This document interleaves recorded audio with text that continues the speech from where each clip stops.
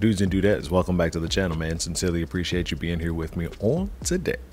So, what we're gonna do today is follow Iam's history, and we're gonna find out how he got on American Idol in the first place. We're gonna get his whole backdrop and probably learn some things that we never knew before. I'm sure you've probably already seen it, but you haven't seen my reaction to it. So let's get into it. Oh boy. There he is. Yeah to really understand his success, you have to understand his history and his background that all started right here in Kahuku. Agreed, let's do it. Lily is the one who suggested him sing Monsters for his audition. Uh, I told him, why don't you do Monsters? And he's like, no, I don't want to sing Monsters. I don't want to be sad. I don't want to do it. Uh, he specifically mentioned he didn't want to talk about Rodney. One of the producers um, just said, it'll be nice to sing something that, you know, is different. And he looked at me and I just I just looked at him. I didn't even have to say anything.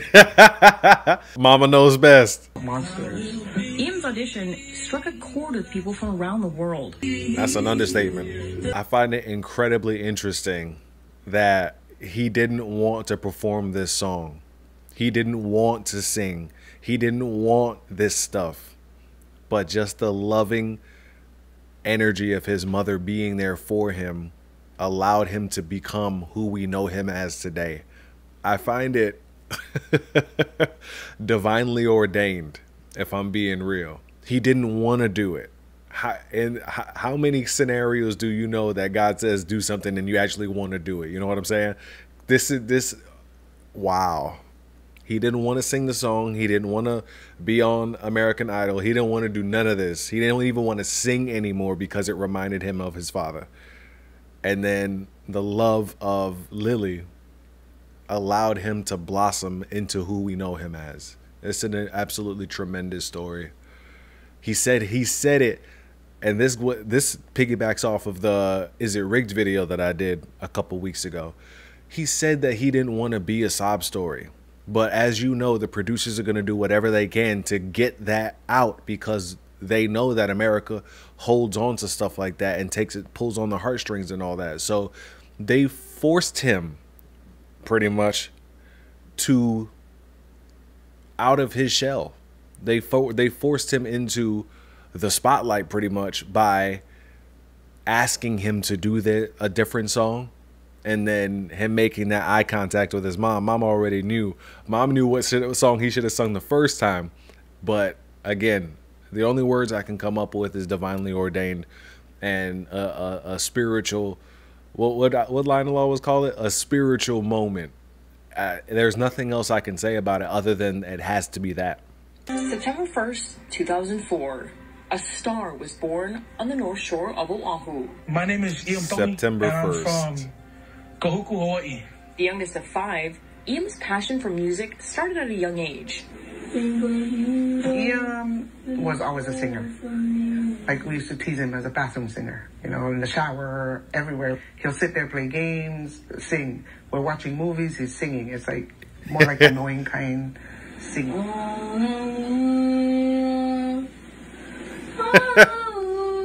like just always singing, and we would always be like, "Stop!" So we kind of were pushing him to stop not knowing that you know he was destined to sing. He couldn't. He couldn't hold it in. Wow, bro, that's that God given talent right there. You you just do it subconsciously. wow. the goof. Who we everyone loves. Put your hand down. I started getting into it, but my grades sucked, so I couldn't do any like tournaments. Y'all hear that? His grades sucked, so he couldn't play football. So all y'all aspiring people out there that y'all want to do music or y'all want to do football, get your grades right so you can do your sport. Now, luckily for him, that wasn't his his path, so it was just all part of the plan.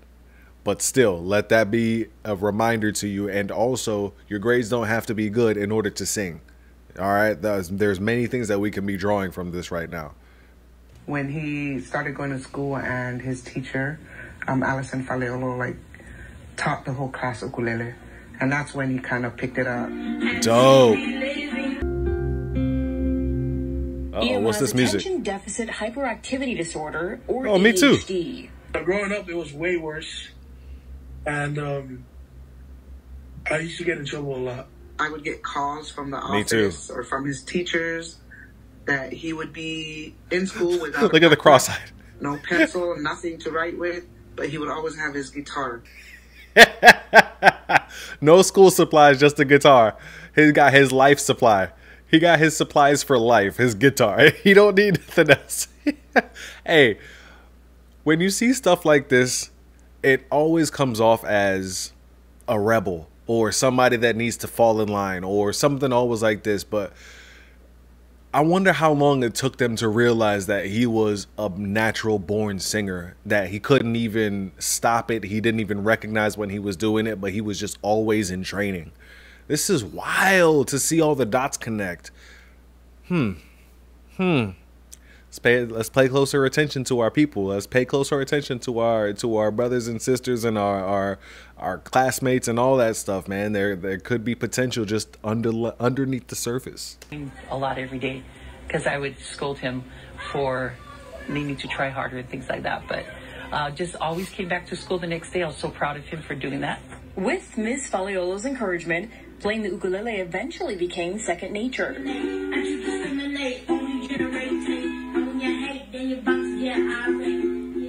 You know, I Okay. used to love it, and uh, I did my first talent show in fifth grade with the ukulele, and I sang "Words of Love."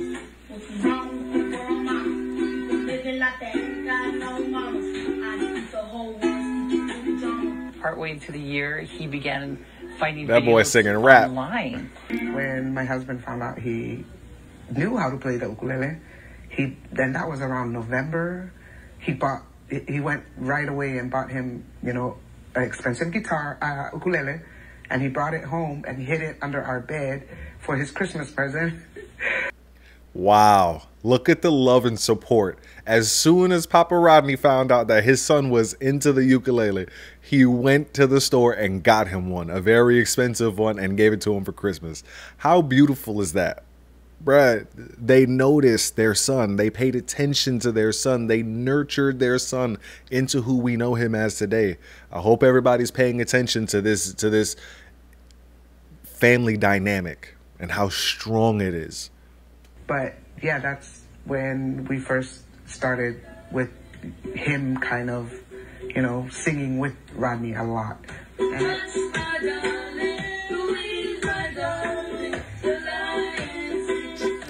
One of my favorite songs. yeah, lit. Iam's dad eventually bought him a cheap guitar.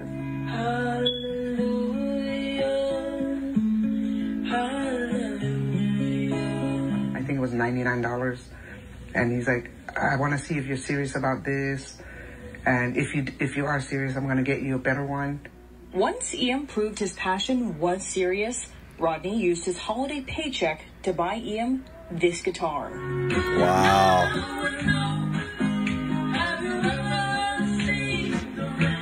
You know, I was kind of upset. How sweet. Oh my goodness. He took his holiday paycheck and bought his son a guitar. An upgrade from the from the ukulele that he bought him. Which he noticed him like after he he would continue to just take it upon himself to practice and learn these cover songs. This is beautiful. The stewardship is just it's oh man. And he said, Why are you upset? I'm investing in, in Iam. This is Iam's future. And I'd be like, Whatever, but you don't have to, you know, we got bills to pay. And I would stress out. And he'd be like, You stress too much. No, we have to invest in the in the kids. And I'm like, Yes, but you can invest in like a guitar that's 99 bucks. He's like, You want them to feel like they are worth something. So you we have to, you know, spend that much money on it. What did I just say? What were my words just now? The stewardship. It's it's magnificent. Bruh. Wow. Wow. He invested in his son.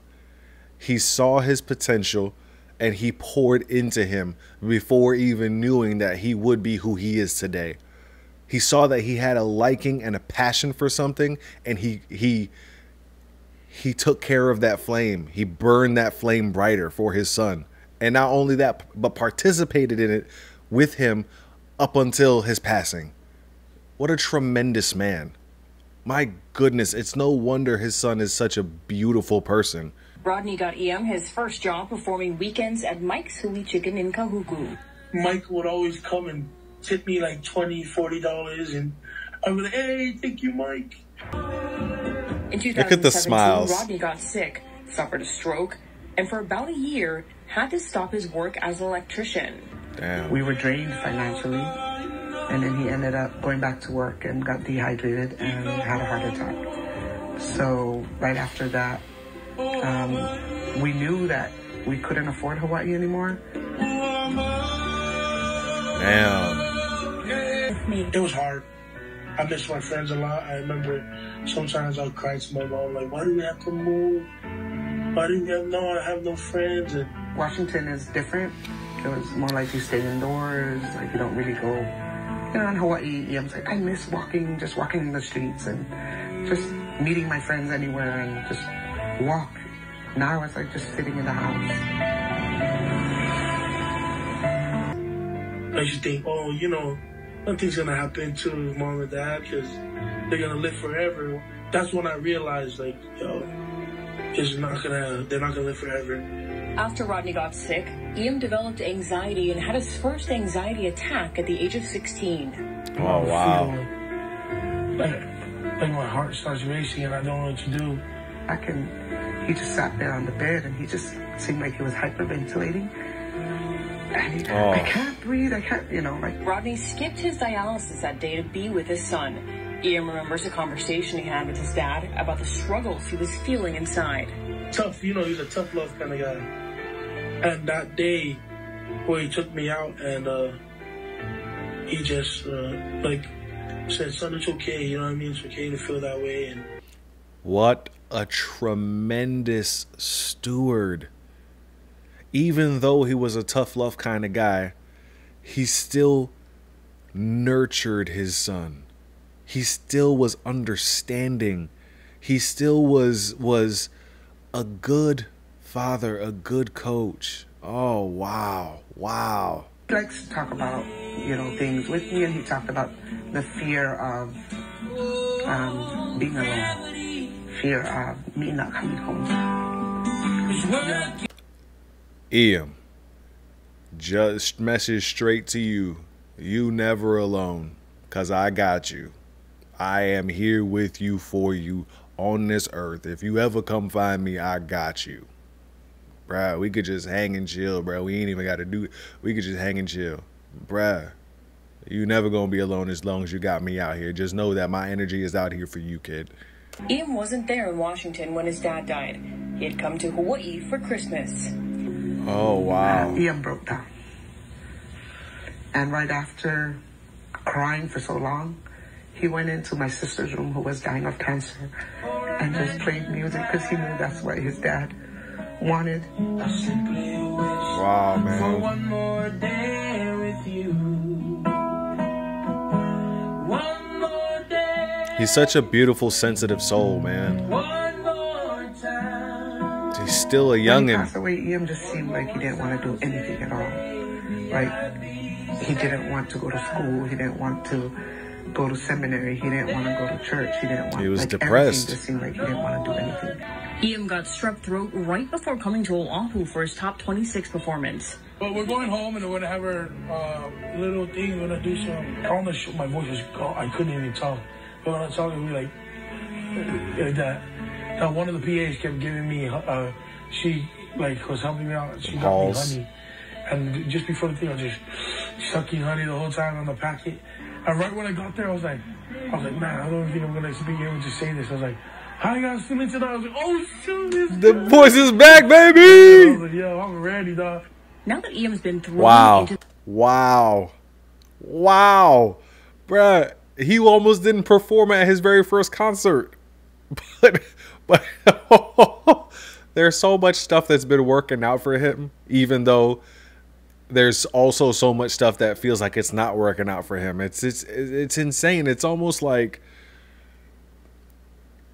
this is gonna sound weird, but it's almost like Rodney was was there to help him get to where he is now, and that he had done his job, and that it was time to go home. That's what it's feeling like more and more as the story unravels, and to to see how there's so many things that they both were battling and battling as a family, but how it worked out almost in an unexpected, uh, unexpectedly smooth way. It's it's just you can't you can't help but see God throughout this man's story. This is wow. Although he's been on the road for the past two months, Iam remains rooted. Never forgetting where he comes from. Lily was just talking about how she fears that Iam might get swept up in all the peer pressure and how he might start changing and lose his Iam factor. But I don't see that as a possibility because if if the devil wanted to do that, like it would have been done by now. He's been through so much and and and gone through so much that I feel like if he was going to be corrupted, it would have already happened in his adolescence, in his younger years. But now he's he's concrete in who he is. He understands, and I believe a lot of this has to do with Rodney's teaching. So, it I don't I don't have that same fear at all, and and it, I don't feel like it's any different, but because I feel like I care for him as part of my family. I don't have that fear for him at all because, again, of Rodney's teaching and the fact that she continues to have this conversation with him about staying humble and remembering who he is.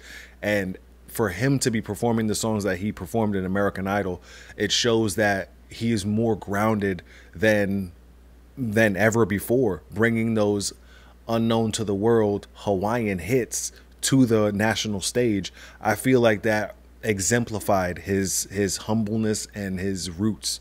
There are about 1,700 students that go to Decatur High School. You'd be hard pressed to find a student who doesn't know who Iam is. Mr. Popular, but not even from trying to be popular, just from doing his passion and wanting to share that with people. He said that you could find Iam in the morning serenading people before school, and also at the at the the the food truck serenading people while he's eating before school. It's like wherever he's going, he is exuding that artistry, that musicianship. It cannot be helped. So this leads me to say my takeaway from this is pay attention to those people in your life that are doing things almost ritualistically, almost relentlessly, just always doing that thing. That thing might be the thing that they're supposed to be doing. That's my my my takeaway. one of the first things that catches your eye is Iam's golden ticket that sits prominently displayed on the living room mantle. You'll also find his three dogs, Coco, Thor, and Bubbles. Coco, Thor, and Bubbles. I also think that he's still up until this point. I feel like he should have gotten the platinum ticket. I'm very curious to know who got the platinum ticket over him. Still, still don't sit right with me. We have a lot of family here, Tongans and Samoans, but especially Tongans. I was always wondering why Seattle, because to my knowledge, Seattle's been the most expensive city for almost what 20 years now and if not, it's been been the most expensive city in America for a couple years, and that that was my knowledge of Seattle. But then it makes sense that for them to move there because they had resources, they had support, they had family. So I was always wondering that. Seeing her son's potential, Lily signed Iam up two years ago for American Idol season 20. I think he went two rounds online, and then he got cut, and he's like and I, I told you, you know, and then he got mad. But when I first tried out, what? I made past the first online round before you go to the auditions. And my dad was going out telling everyone, you know what I mean? Then I tried out again, and then I never made it. And, you know, I felt like almost like I kind of disappointed him. But Aww. mom wasn't ready to give up on Iam and Rodney's dream. Once again, signing Iam up to give it another go on American Idol. Mom, I'm not good enough. Everything was, I'm not good enough. I think he didn't want to get cut again. Wow. Wow. He's just a human, just like everybody else. And he was afraid of not being good enough. But look at where he is today. My goodness, this is absolutely mind-boggling to think that it's almost it's almost as if he had no hand in the success that he's had now other than just being consistent in who he is, which is a singer, artist, musician. And Lily twice or three times went through the back door and and set him up, hooked him up, told him to audition, told him to continue to sing, told him all that she was there for him. And he failed the first time and she signed him up again without his knowledge and he succeeded this time because he wanted to make his father proud. Because the first time he felt like he let him down by getting cut in the audition in the online audition section. Bruh he's so remarkably human. That story is so relatable.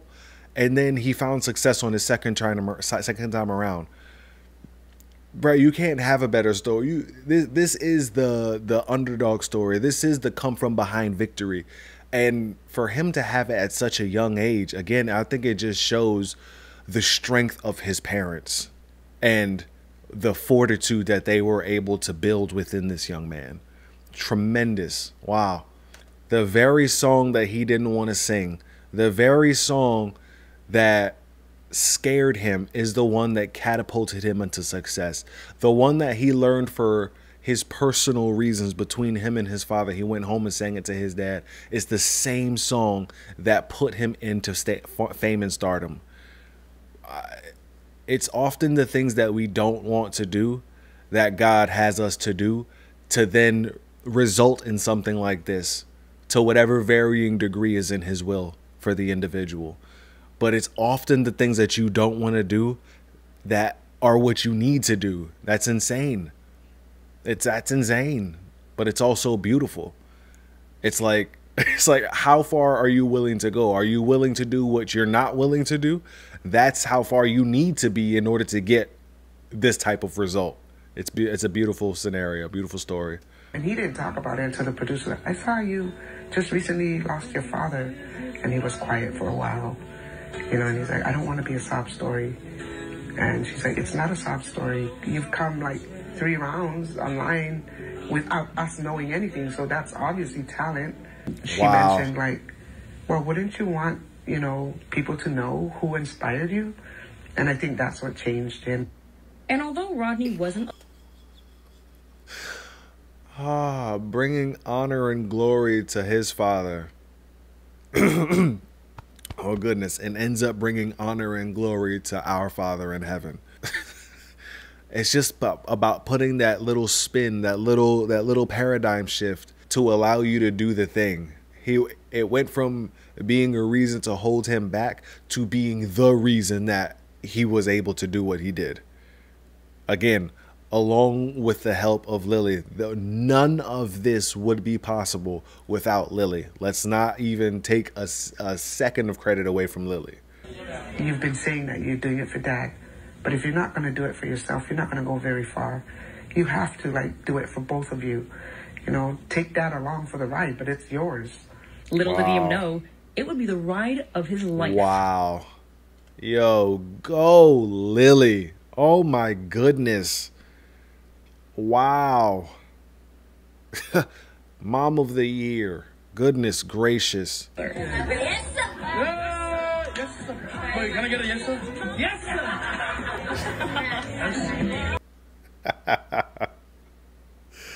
I love this boy. It feels like work or like, uh, you know what I mean? Uh, or school. It just feels like, but you're having more fun. Like, Okay, yeah, that's not work or school, but you know.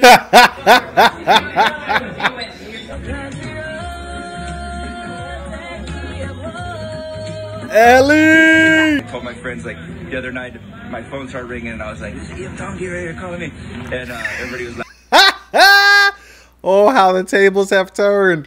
You got old school popular artists psyched to be called by Iam Tongi. Oh my goodness! I'm so happy. Jack was like pretty much fangirling over Iam. Hey, Iam, you make me look real cool to my kids right now. Dope. And what did I say? Anybody remember my quote from that video, the concert video that I did when he was when he was on stage? I think it was that exact scene. I was like, look, old legends and new legends together on stage. Oh my goodness. And he made it on the show itself, you know what I mean? And and and the, what everything he's representing. He looked like the rock beautiful. cousin. And make anything happen. Holy moly! Holy moly! I remember that one. Uh, my husband loves him. We've loved him from day one. We know he'll get number one. Everybody knew. It took people a little bit longer than others for the reality to set in. Like for us, we knew that he was going to win from his audition. For others, it wasn't until Cool Down. For others, it wasn't until uh, Don't Let Go. It wasn't until a lot of things. But eventually, everybody came to realize and understand that Iam Tongi was going to win. Iam made history as the first person from Hawaii and first Pacific Islander to win American Idol. Yes, uh, And and I felt just very lucky to be up there with him.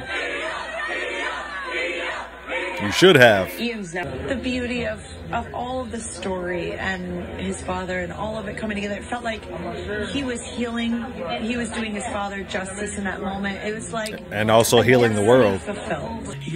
After winning American Idol, Iam's single "I'll Be Seeing You" reached number one on the iTunes charts. Yes, uh, my boy. You absolutely deserve it, King. It's an absolutely beautiful song. But no where he is, I am the American Idol. he'll always have that playful spirit that is Iam Tongi. Just wanted to say, love you guys and thank you for coming out and supporting. Yes, sir. Red Yes, Raiders for sir. Life, though. Red Raiders for life. Yes, sir. No Hawaii. Shout out to all my, I just spit on the mic. Great. Shout out to all my family at home, all my friends. Yes, sir. Yeah. From all of us here at KITV4, congratulations, Iam. What an absolutely beautiful young man. What an awesome special. Shout out to CCAT for having that up and ready for us. Man, the ambassador of Aloha has really inspired the world. Anybody that's seen him has been inspired, has been healed, has been allowed to grieve even even after years of probably holding it inside when you when you saw that that audition with him singing the cover of monsters it it did something to you as an individual whether you wanted to admit it or not or whether you were aware of it or not it has made a tremendous impact on you as an individual. All right cool little frozen beans man. Hopefully you learned some stuff about Iam that you didn't know. I've, i did. The one thing, one takeaway that I got was he's got three dogs and that his birthday is September 1st. First Hawaiian born Pacific Islander, as well as the first non country singer in three years to win the competition. Shout out to Iam Tongi, shout out to Lily, shout out to Rodney, shout out to Manatau, shout out to the Tongi family, shout out to all of you. You've done a tremendous job. Shout out to Hawaii for having the culture to, to instill in this young man for him to come out and be received and bless the world. Thank each and every one of you. Thank you to my members. Thank you to my donors. I appreciate y'all being here with me in this video. Jesus is my rock, my foundation of this thing, and y'all are the gasoline to help move this thing along and to pick up more steam and more subscribers and more love. And I appreciate it. I thank you for being here, and I pray I see you in the next video. Love.